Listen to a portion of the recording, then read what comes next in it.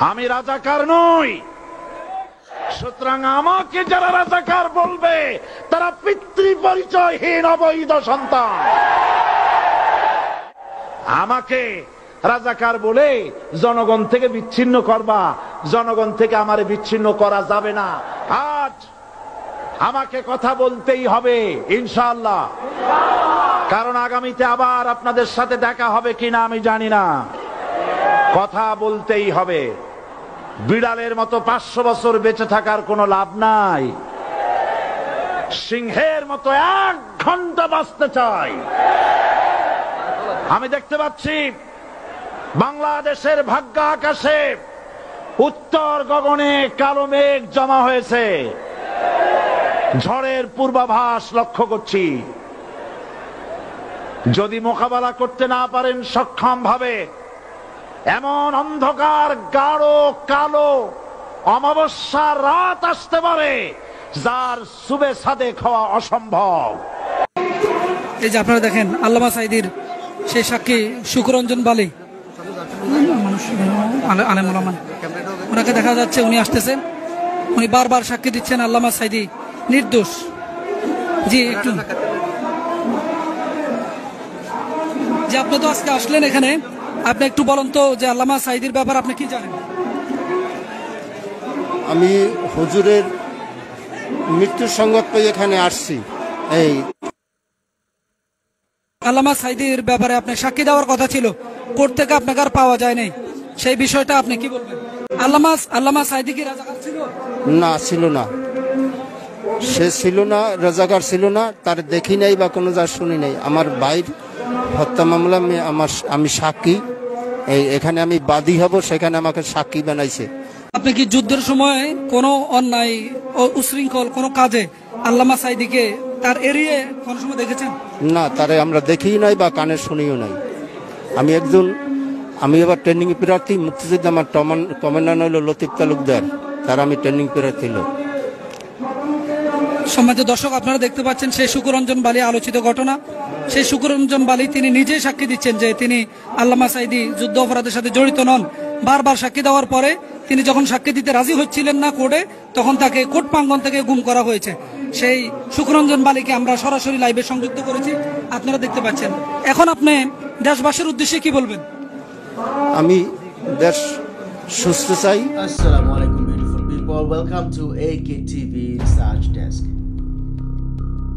অবশেষে কোরআনের পাখি আল্লামা দেলোয়ার হোসেন সাইদি জালিমের কারাগার থেকে চিরদিনের জন্য মুক্ত পেলেন। কিন্তু প্রশ্ন হচ্ছে, যারা এই জালিম প্রশাসনের আন্ডারে এখনও অন্যায়ভাবে নির্যাতনের শিকার হচ্ছেন। তারা কবে মুক্তি পাবে? My dear respected brothers and sisters দেশপ্রেম ইমানেরই একটি অংশ। আর এই দেশ সুষ্ঠুভাবে পরিচালনা হচ্ছে কিনা, সুষ্ঠুভাবে পরিচালনা প্রশাসন করছে কিনা, তা নিয়ে কিঞ্চিত চিন্তা ভাবনা করা আপনার, আমার ইমানি দায়িত্ব।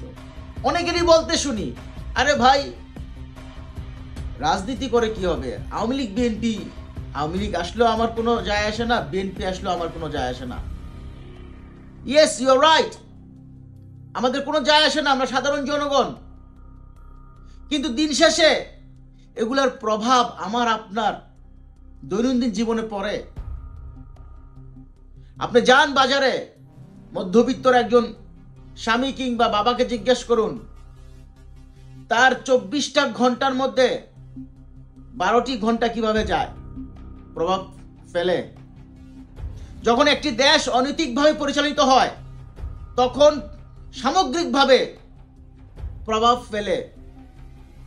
যে প্রভাব এখন রাজনৈতিক অঙ্গনে চলছে, বহির্বিশ্ব বাংলাদেশকে ব্যবহার করছে, এই পরিস্থিতি সৃষ্টি করার দায়ীকে।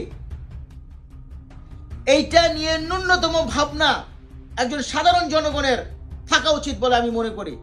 আপনাকে রাজনীতিবিদ হতে হবে না। আপনাকে পলিটিশিয়ান হতে হবে না।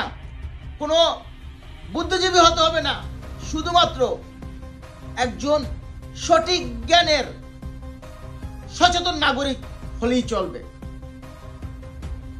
আমার কোরআনের পাখি আল্লামা দেলা হোসেন সাইদিকে, যারা অন্যায়ভাবে বিগত তেরোটি বছর সাজা দিয়েছেন, মানসিক যন্ত্রণা দিয়েছেন, তাদেরও বিচার হবে। একজন কোরআনের পাখির মোনাজাতের কষ্টের প্রতিটি চোখের পানির কষ্ট যে কতটা ভয়ঙ্কর হতে পারে, প্রতিটি মোনাজাতে চোখের পানির অভিশাপ যে কতটা ভয়ঙ্কর হতে পারে, তা এই জালিম সরকারের প্রশাসন খুব শীঘ্রই অনুধাবন করবে। কারণ আল্লাহ পাক নিশ্চয়ই সীমা লঙ্ঘনকারীকে পছন্দ করেন না। আল্লাহ পাক মালনা দেলা হোসেন সাইদিকে জান্নাতের উঁচু মৌকা দান করুক।